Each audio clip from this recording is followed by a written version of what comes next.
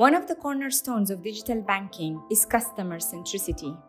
We can only achieve it with the wealth of data that us as a bank are sitting on. The demands of consumers now to be able to perform more of their tasks online is requiring us to deliver our products, requiring us to deliver our interactions in a more automated way. Insurance really is a data-driven business. You know, at the end of the day, it's getting the best rate out there for the customer and then also driving user experiences which are also powered through data. We redid our data structure to center around client versus centering around an account or a product, which is typical in financial services. That's where I thought we could get speed to market?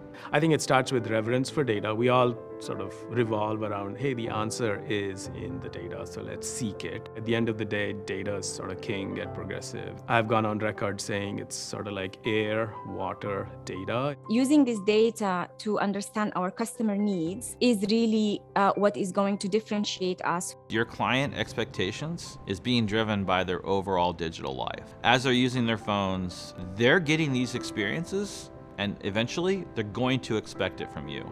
Digital transformation is almost like an endless road, but really at every milestone on that road is more business value. You know, banks are investing billions, in some cases tens of billions of dollars a year in tech and data capabilities. If we can drive this digital transformation, if we can deploy analytic solutions and capabilities and deploy technology in a competitive way, you know, we have a place in the long-term future of, of banking. You know, we've been here for 200 years, we'd like to be here for 200 more, and I think this is the crux of our ability to do that.